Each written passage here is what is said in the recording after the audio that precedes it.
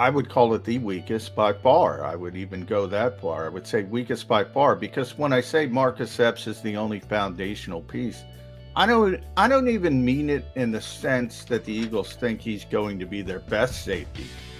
Um, I I I mean it in the sense that excuse me, um, that he's the guy that you know is going to be there. In other words, you know, Harris might be more important. Tartt might be more important uh, to the defense as a whole. You know, after they beat out the other one, or you know, vice versa. But the one that you kind of know is going to be there is Marcus Epps.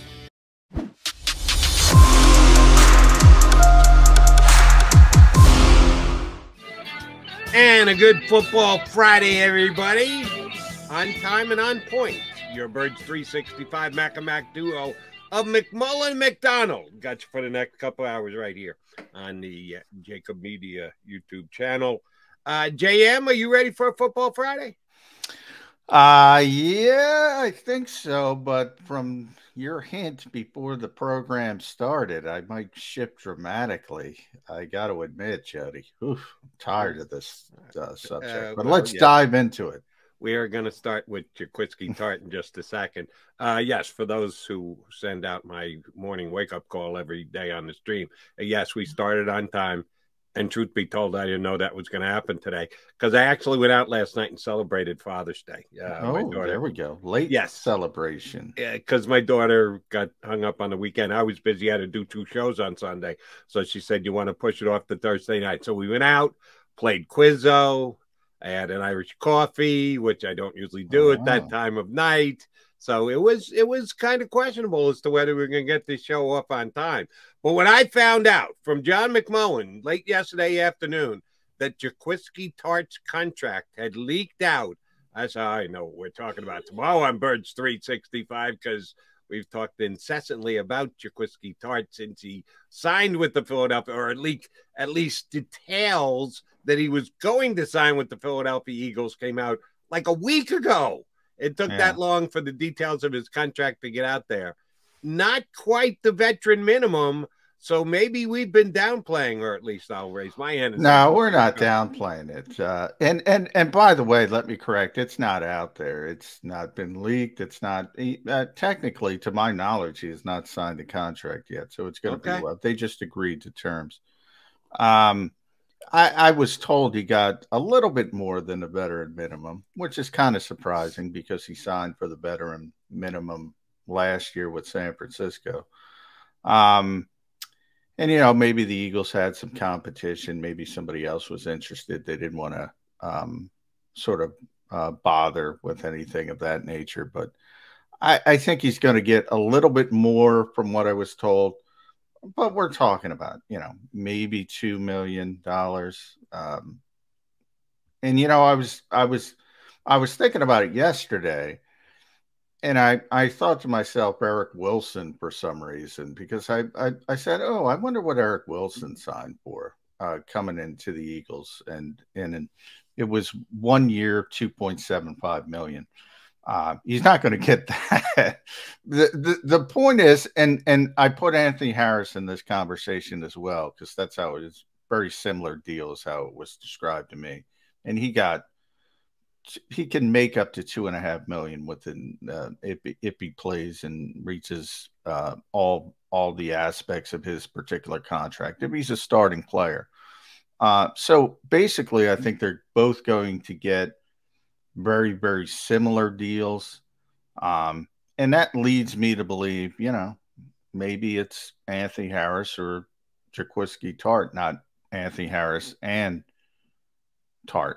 Um, but we we've talked about that before, and I have no problem with the competition. Let the best man win. Yeah. But I, I think the other part of that, the back end of that, is K'Von Wallace has to show up. K'Von Wallace has to play in, in training camp well, has to show that he's heading in the right direction. The only structured piece I see at safety, and it's hard to even call him sort of foundational, is Marcus Epps. They seem to really like Marcus Epps. They penciled Marcus Epps in. They expect him to be a starter. And then everything else is kind of up in the air. And if Marcus Epps is the main guy at safety, I'm okay with that. I, I would still call safety one of, and yeah, people have problem with this descriptive adjective, weaker. Doesn't mean weak across the board, just weaker in comparison to the other positional groups that they have on this team. Uh, I would still call that one of their weaker positions. Yeah, it, it, I would call it the weakest by far. I would even go that far. I would say weakest by far because when I say Marcus Epps is the only foundational piece, I don't I don't even mean it in the sense that the Eagles think he's going to be their best safety. Um, I I I mean it in the sense that excuse me, um, that he's the guy that you know is going to be there. In other words, you know, Harris might be more important. Tartt might be more important uh, to the defense as a whole.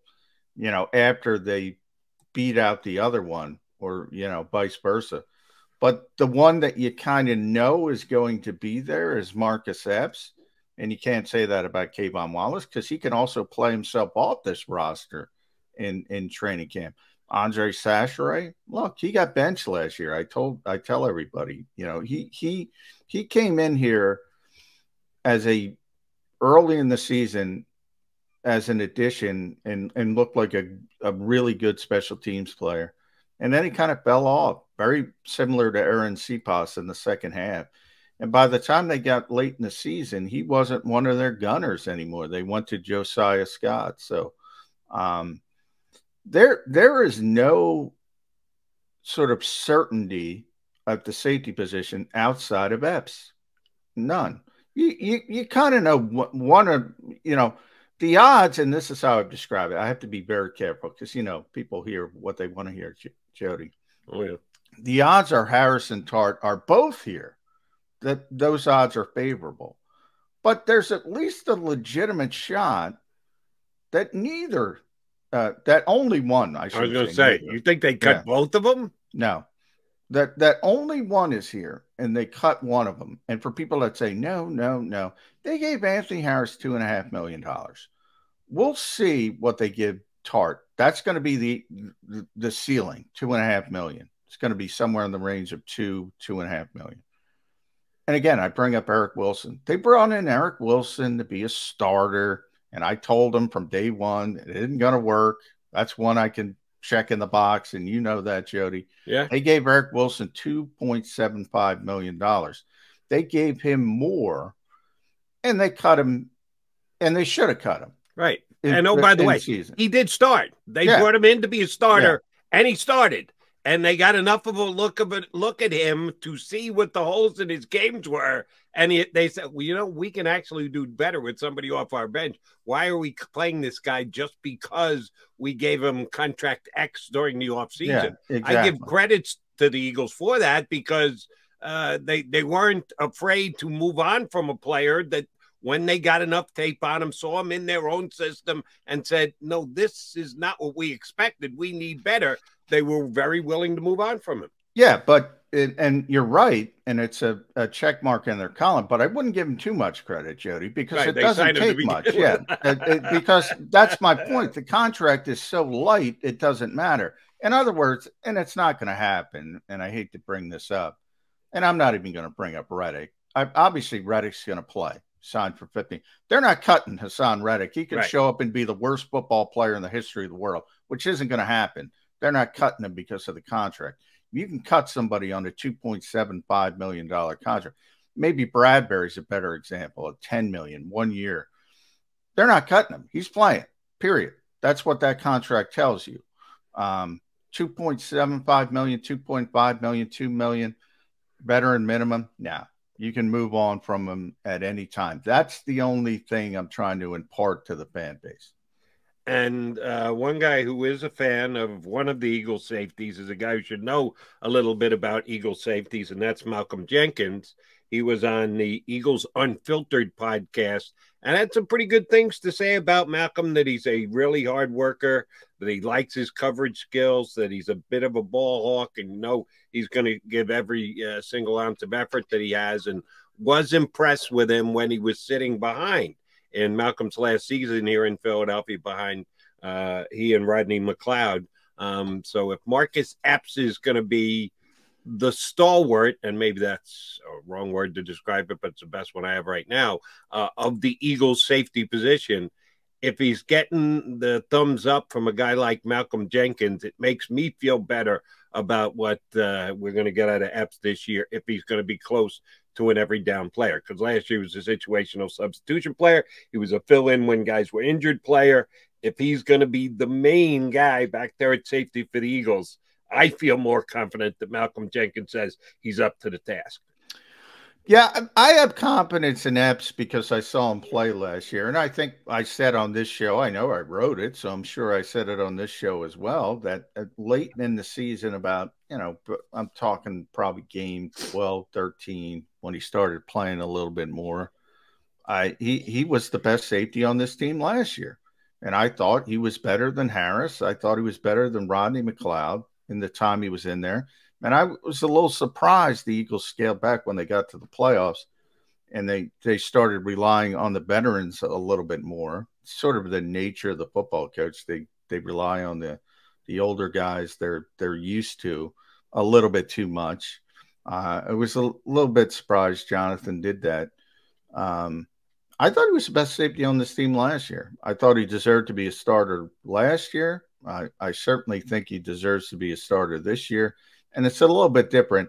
Look, nothing against Malcolm. I mean, it's just you see the same thing with coaches, and, and generally players are going to defend each other, and there's going to be some hyperbole uh, mixed in there. And I, I, use as an example, you know, every time the Eagles showed up before they got uh, James Bradberry, it was all, oh, Tay Gowan this, Mac McCain, Kary Vincent this. Oh, we're very Zech McPhearson's ready, ready to go. No, no, they didn't believe that for one second. They they believe it with with Marcus Epps, I think, or at least they believe it to a to a much much much greater degree. No, here here's why apparently I put more stock in what Malcolm says than you do. When you're a teammate, when you're still there, when it's one of your guys that you're looking across and being asked to comment on, that's one thing.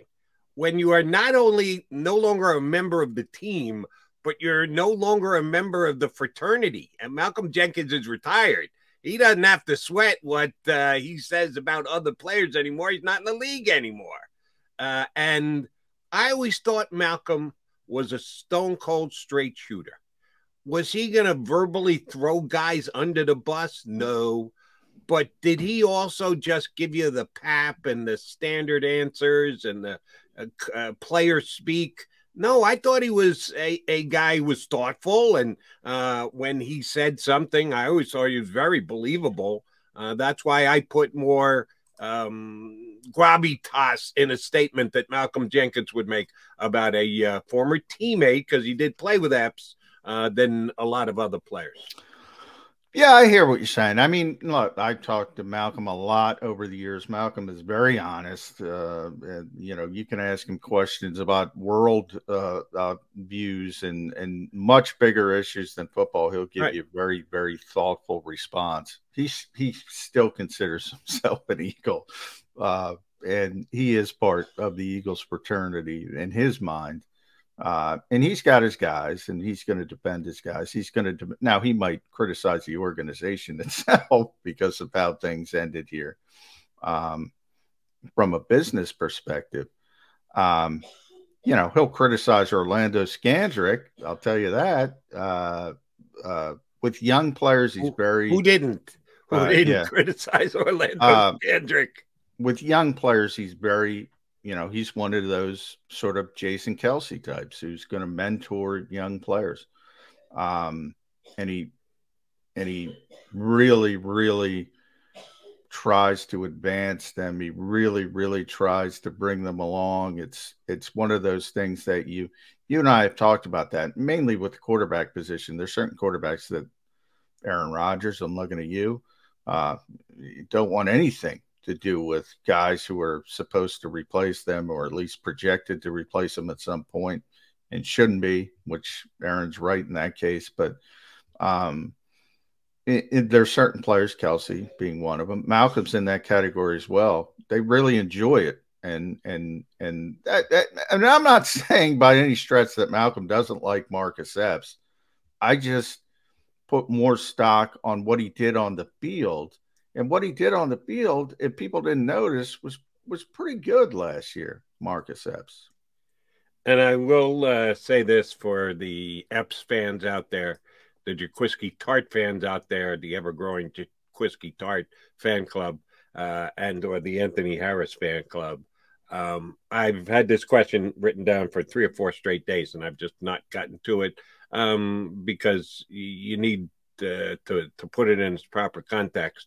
Um, looking ahead uh, for the Eagles in 2023, the Eagles have two first round draft picks right now.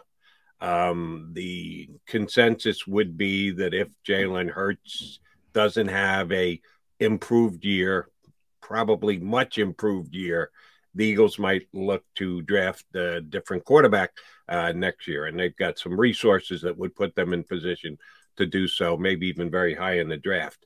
But if Jalen Hurts comes out and balls out and plays well, and we're all feeling good about him, and we think the Eagles are leaning toward giving him a contract extension, Eagles are going to have two first round draft picks to just build up the team. That we're not going to have to worry about them moving up to take a quarterback. I'll tell you right now, that will be one of the positions they will look at is safety that well they've never drafted a safety in the first round jody. You're you're hearing it from me now. Now uh, again you got to make sure that people hear what you're saying.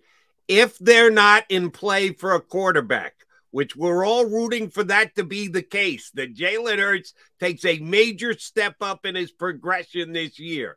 If not safety will be a position they will look at because you and I have talked about this a lot Jonathan Gannon came from a place where he had one of the best safeties in the National Football League in position to add to his defense to be able to do the things that he wanted to do.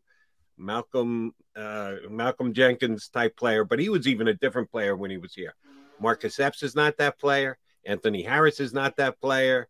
I would doubt highly that uh, anyone on their roster, uh, no. Tartt or anyone else, no. is that type of player Oh, they still are looking for that type of player that fills several different roles, can play all over the place, tremendously athletic safety to back end the entire defense to allow the DC to do what he wants to in a lot of different ways and phases.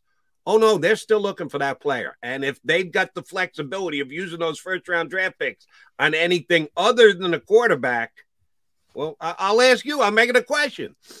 Jalen uh, Jalen Hurts actually earns a Pro Bowl slot.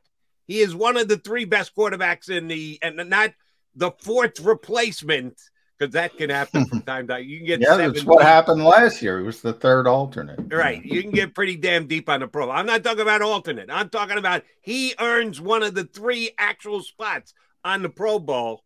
What position Eagles using those two first round draft picks on? Well, so many moving parts here. But number one, what you said, what you said is true about Jonathan Gannon. I've talked about it all the time. He constantly brings up Harrison Smith in conversation too, you know, too often. It's one of those things um, uh, because he liked him so much as a player. But you know, is he even going to be here? Um, you know, if the Eagles defense succeeds, he's probably going to be a head coach, to be honest. Um, and if they don't succeed and they crap the bed, the Eagles could start looking around and saying, "What the heck's going on here?" So that that's the biggest piece of the puzzle. But then you have, you know, your favorite, Derek Barnett's essentially under a one-year deal, even though it was said it's a two-year deal. The Eagles can get out of it. Brandon Graham is already talking about here on JAKIB Sports, jakibsports.com. You know, he's he'll he wants to play 15 years and he wants to finish his career with the Eagles. But he also said, guess what? I'll go play somewhere else next year. Yeah, if the did. Eagles don't want me, I'll go play somewhere else. And that's to be honest, that's likely what's going to happen. So they could need an edge rusher, which is an even more important position. And then you talk about Brett. We talked about Bradberry. One year deal, Jody. They might need a corner. And Darius Slay's post 30 as well. There's so many moving parts, and there are there are positions with more value that the Eagles could be looking at uh, next next April. That could be just more important than a position. They've never used a first round pick. So we'll get into that next year. We'll be talking about linebackers, we'll be talking about safeties. But, you know, Howie isn't responsible for all of that. Jeffrey Lurie isn't responsible for all of that. But hey, Jeffrey's been here for over a quarter century now, and they still aren't taking stinking safeties at the top of the draft. All right. Um, I remember circle this date on your calendar. Jody Mac said that uh, if they don't need to use their draft capital to get themselves a quarterback in the 2023 draft, safety will be now. How he could do the old kick the can down the road thing again and uh, give himself another year uh, to have uh, multiple draft picks in the first round, so he could trade out. But if the Eagles make two pair, I got a lot of contingencies to this. Yeah, you got. And by the way, uh, I hope I I don't see a better safety prospect than Kyle Hamilton this year, and they could have had Kyle Hamilton, but they went a different direction. Yeah, but you know thought, they you know they love Davis. I know. If there was any it. other if there was any other players other than Davis on the board, they're they're they're sitting right where they are and uh, maybe I don't know. I don't know with this team. Okay. They did love Davis. They valued that position right. more. And that's why they did what they did. All right. So here are the contingencies. they don't need a quarterback. JG is still here as the defensive coordinator. They keep both first round picks. If those three things are in place, the Eagles will take a first round safety next year. Jody McDonald, Nostradamus, write it down. Yours truly laying it out there in mid June some 10 months before the draft ever rolls around. All right, we've got our own Nostradamus joining us next. He is Mr. Football Friday himself. Game day, Ed Kracz up with us here on Birds 365.